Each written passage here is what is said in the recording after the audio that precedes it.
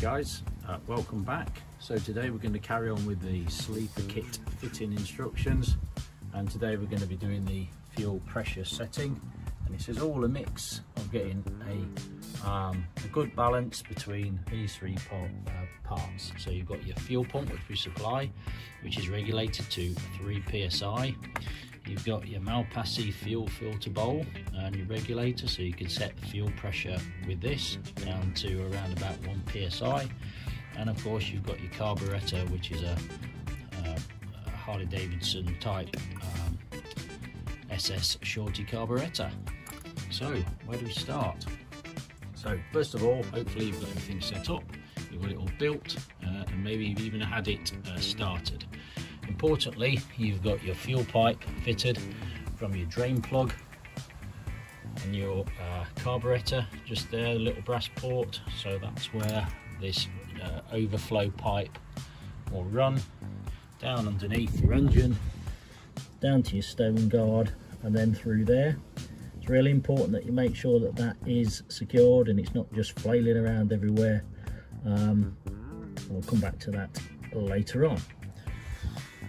So, where do we start?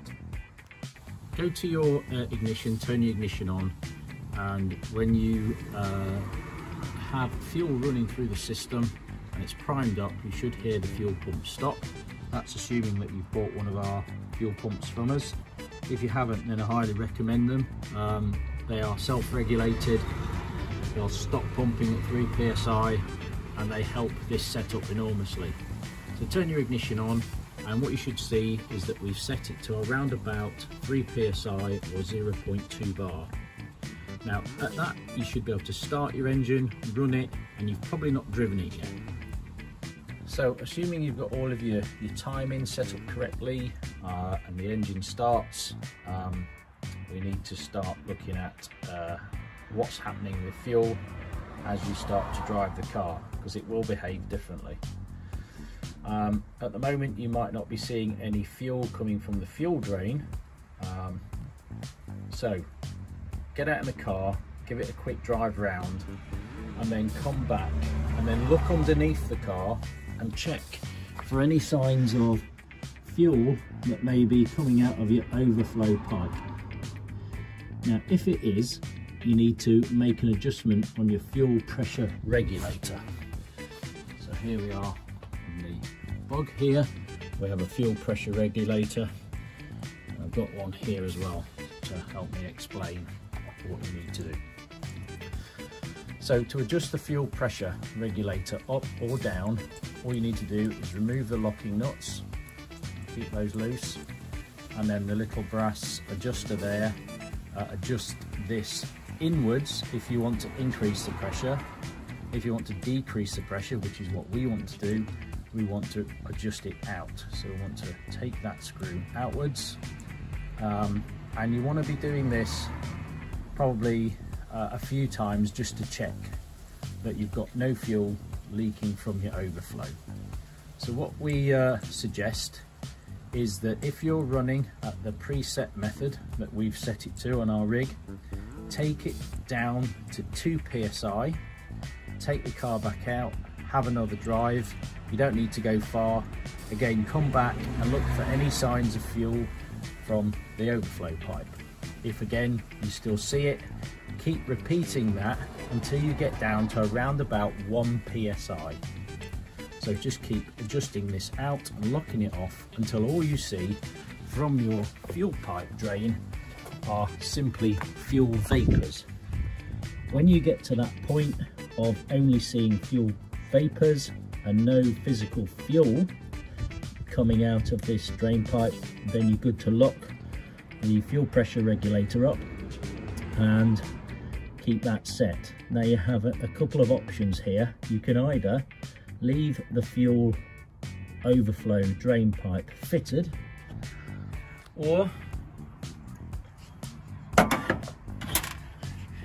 you can fit a blank and remove the fuel pipe overflow. And simply fit the fit the blank like that onto the onto the carburetor. Okay. Dead simple. Now on this bug, I've set this one. This one is set to uh, nearly 3 psi and when I go out for a run at the moment I will see signs of fuel but if you can see just here look I've marked on this gauge where this stops overflowing fuel and that's around about 1 psi. One thing to be uh, wary of, uh, if you are just going to wind this out uh, to lower the pressure, um, just be careful because when you get to the end of the thread, there's nothing to hold it in. There's a little spring underneath uh, and that will uh, pop off and probably fly into your engine somewhere. So, so just be careful.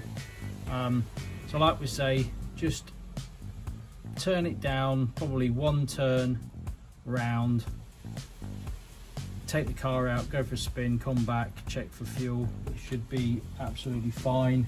So in theory, even if you get down to one PSI of pressure through the 8mm fuel pipe, that will provide 2.4 gallons a minute and that should be more than enough. So even if you were traveling at 100 mile an hour at 10 mpg, you would only need a gallon every six minutes or so.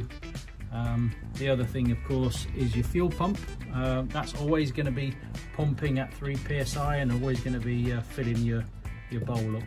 So reducing your pressure to as low as 1 psi, all that's going to do is replicate what's happening on the motorcycle and, uh, and obviously the carburetor is designed to be um, fed by gravity.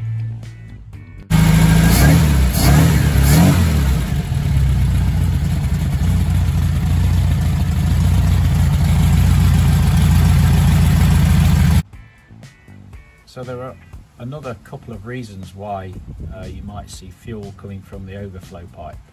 So if you're in a hot country, for instance, uh, vehicle's outside, uh, if you imagine a fuel can, you put a fuel can in the sunshine, you're in some warm, you open up the, uh, the fuel can over time and it will release pressure and that's because of heat. So in hot countries, the heat uh, can create pressure in your gas tank and all what will happen um, it will push fuel out of the carburetor out of the uh, drain hose onto the floor and that's something that they, they often see on the Harley Davidson motorcycles uh, so it, it, it is a, a little bit of a, a, problem I would say but in this case um, another another reason why we might see uh, fuel leaking from the overflow is because of the orientation of the carburetor. So there we are. So this is in the opposite orientation to how it's fitted onto a motorcycle.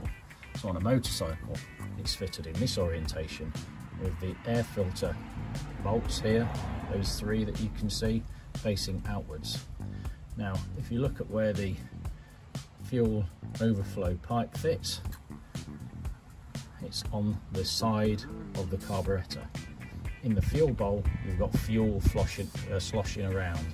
So as you're moving forwards and backwards and you're braking, um, you've got fuel moving around in there.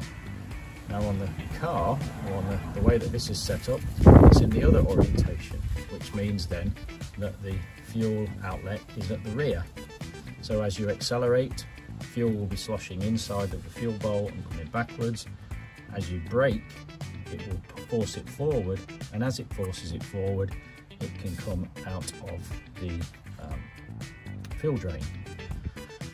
So that's not particularly an issue and hence the reason why we supply uh, the little black plug there so that once you set your pressure up correctly and if you look at our other videos and you check that your float height is set correctly and uh, everything is good with the carburetor and the float is loose, there should be no reason why you can't block that up.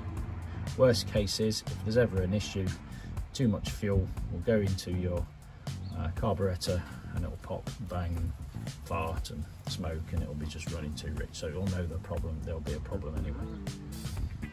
But yeah, so that's how to set it up. Um, let us know how you get on.